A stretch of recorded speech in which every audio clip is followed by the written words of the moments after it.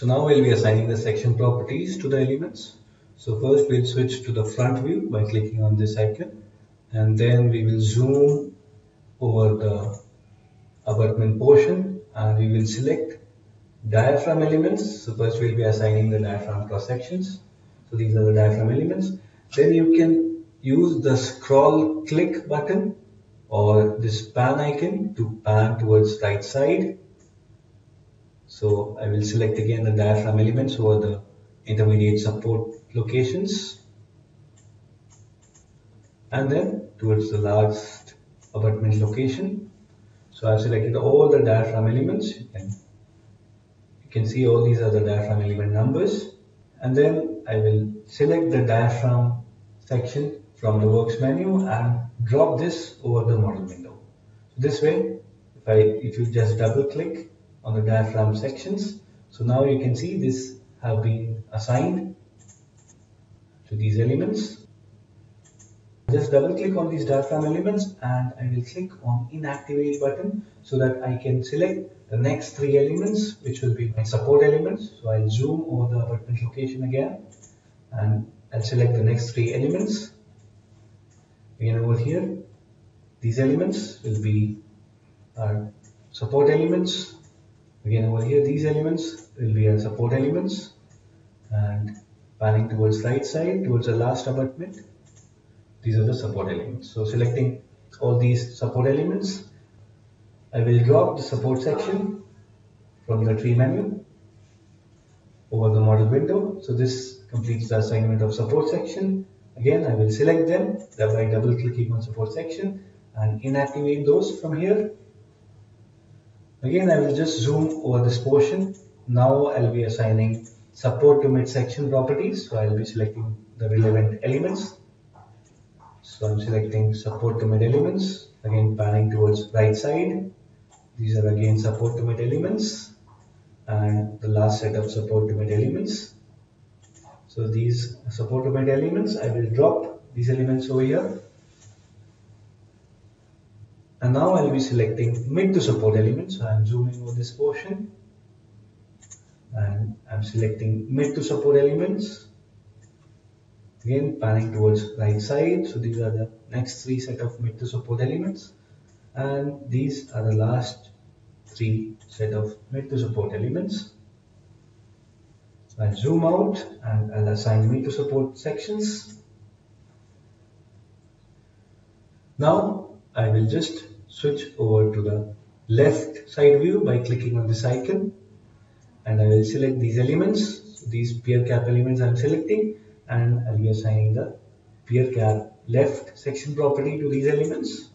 This completes the section assignment. I'll click on this icon. You can click on this activate all icon and everything will be activated.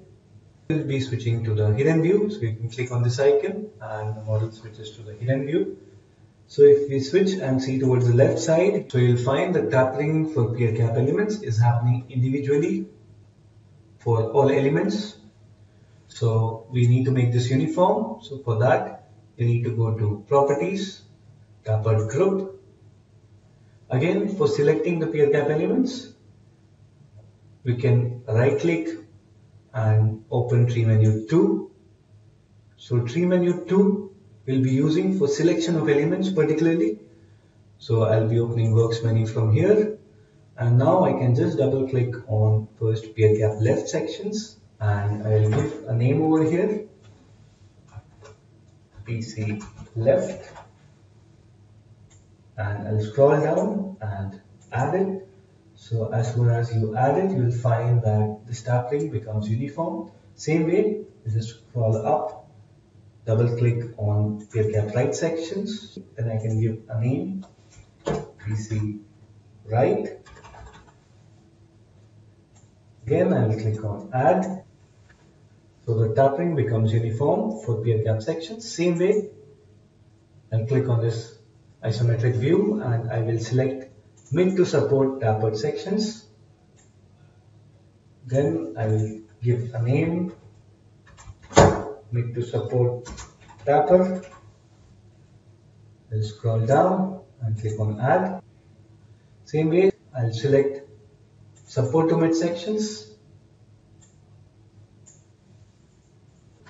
support to mid taper, and I will add it.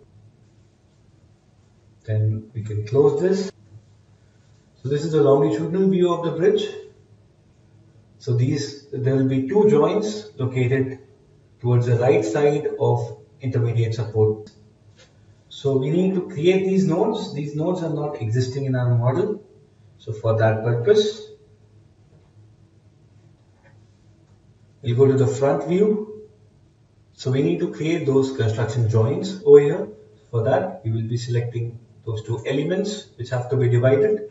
So those two element numbers are 61 and 107 which are located at 8 meters towards the right side of intermediate supports.